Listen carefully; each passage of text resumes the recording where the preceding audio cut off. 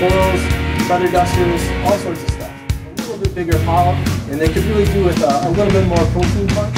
Copepod in your fish and your corals, and all sorts of things. Our company's done a lot of training in the past. We've come out with something completely new.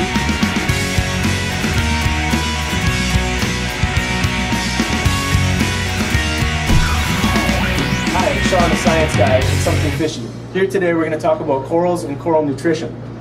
I hear it in the stores a lot where people think they put this big expensive light on top of their fish tank that that's all the energy that their corals need. Well, that's not so much the truth. Your coral's taking about 80% of their daily net carbon need from the light that's provided. It's up to us as aquarists to provide the other 20%. How you go about doing that, there's a lot of different ways to do so, and it kind of depends on the types of corals that you're trying to feed. You got to remember that corals have small polyps and some corals have big polyps. Depending upon the type of polyp in the coral that you're trying to feed, that's going to dictate the type of prey that you're going to allow that coral to feed on. So small polyps, small prey, big polyps, big prey. At the basic level of the food pyramid in the ocean, you'll find phytoplankton. Phytoplankton is consumed by pretty much any type of filter feeding organism, corals, feather dusters, all sorts of stuff. The next level of the food pyramid is zooplankton, and that can be provided by this product, uh, Rotifeast, which is a rotifer uh, re replacement. These two products alone are a great entry level into feeding your corals, but there's also some other things that you can also feed them as well. Oyster eggs just like your eggs in the morning with your bacon, it's got a lot of protein, fatty acids, and lipids, which really provide a lot of energy for the corals at at a basic level.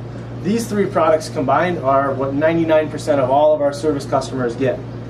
If you're trying to target feed some other types of corals that have a little bit bigger polyp and they could really do with a, a little bit more protein punch, something like the Mysis feast or the Arctic feast, it's a bigger prey item, it's for a bigger polyp, it's going to do well with corals such as open brain corals, echinastrias, trachyphyllias, and wellsophyllias. Those guys will really jive on this kind of stuff.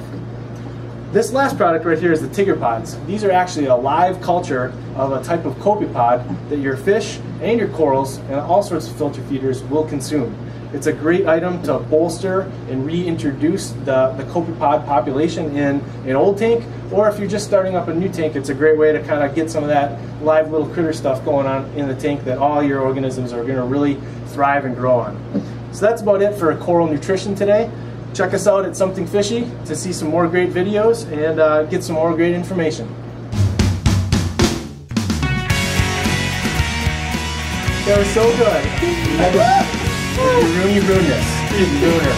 You do, you gotta see it. this is so stupid, man. Ah, super.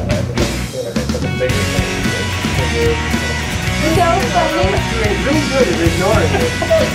I'm like, I'll say. Okay, this start cutting it. Just like, just, uh,